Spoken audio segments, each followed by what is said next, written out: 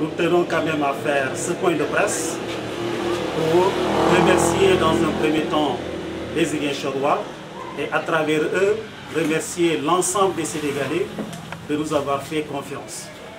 En effet, ces élections constituent pour nous un premier test et déjà à partir de ces élections, nous avions obtenu des résultats, je dirais pas favorables, mais c'est des résultats quand même qui sont très, très satisfaisants. Ils sont satisfaisants parce que nous sommes un parti qui vient de naître. Et au niveau de Ziguinchor, c'est vrai que le parti est là depuis 2014, mais la plupart des cellules ont été installées après janvier. Donc entre janvier et le mois de juin, nous avions installé le maximum de cellules, ce qui nous a valu également d'obtenir quand même la position de quatrième parmi les 47 listes qui ont été présentées. Et si nous tenons compte de nos résultats au niveau national, on se retrouve à la sixième position. Donc sixième position sur les 47 listes qui ont été présentées. Et ça, pour un parti, pour une coalition qui vient de naître, nous, quand même, nous pouvons dire que quand même nous sommes assez satisfaits. Très satisfaits. Et donc, pour ceux-là qui, qui nous ont fait confiance, les Sénégalais qui nous ont fait confiance, les Iguinchorois qui nous ont fait confiance, on les remercie beaucoup. On les remercie parce qu'ils ont compris le combat qui est en train d'être mené au sein du parti, qui est en train d'être mené par notre leader Ousmane Sonko, et qui, en fait, à cause de cette lutte qu'il est en train de mener, lui a valu le limogeage que les Sénégalais ont connu, qui a été un limogeage qui, quand même, n'est pas qui, ne s'est pas fait dans les règles, puisqu'il n'a pas suivi la réglementation. Et malheureusement, ceux-là qui ont pensé peut-être que Ousmane allait être anéanti, le parti allait être anéanti, mis sans, sans réserve financière, ils ont pensé peut-être le détruire pour une, une dernière, pour une première fois, mais ils se sont largement trompés parce que quand même le discours d'Ousmane a été bien entendu par les Sénégalais.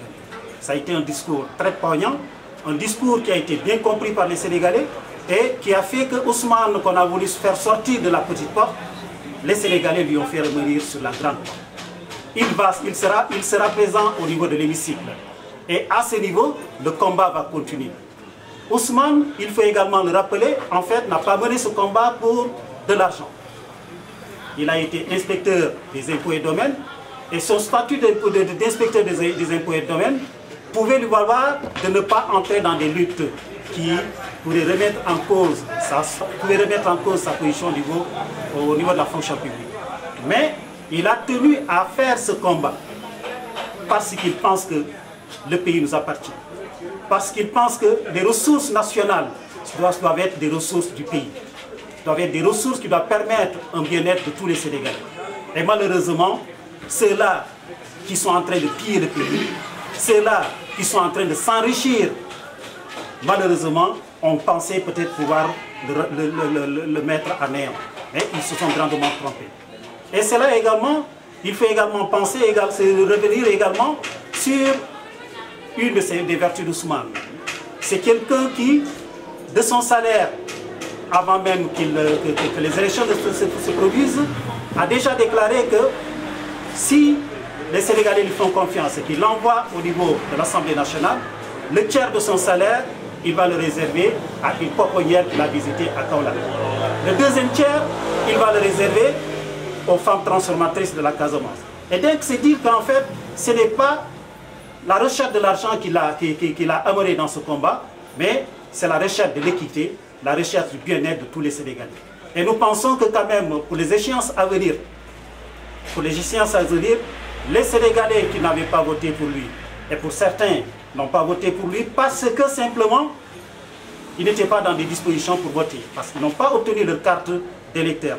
Certains n'ont pas voté ici à Ziguinchor parce qu'il y avait une pluie battante. Et cette pluie battante, a, malheureusement, a empêché une bonne partie des, des, d'aller voter et donc d'augmenter les, résultats d'Ousmane au niveau de la région.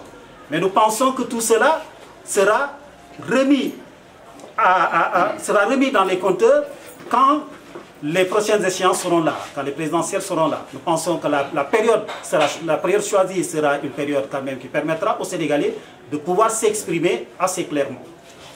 Et cela, quand même, nous comptons beaucoup sur les Sénégalais qui n'ont pas voté pour lui et qui ont une chance également pour faire en sorte que le Sénégal retrouve ses ressources, que le Sénégal soit un pays d'équité, que le Sénégal ne soit pas la, la, poche de quelqu'un, que, que, que ceux-là qui dirigent le pays, quand même, ne considèrent pas que les ressources du pays leur reviennent.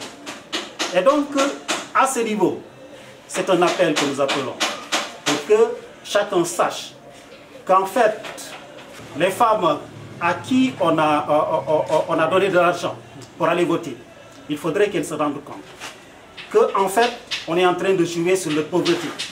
C'est dire qu'en fait, les 10 000 francs qu'on leur donne, c'est des 10 000 francs qui leur appartiennent. Et malheureusement, ceux-là qui sont mal intentionnés utilisent leur pauvreté pour engranger des voix, pour être devant les ressources nationales, pour pouvoir également détourner également la conscience des Sénégalais. Il faudrait que les gens refusent cela, que la dignité également soit au-dessus de tout cela pour que les ressources reviennent à tous les Sénégalais.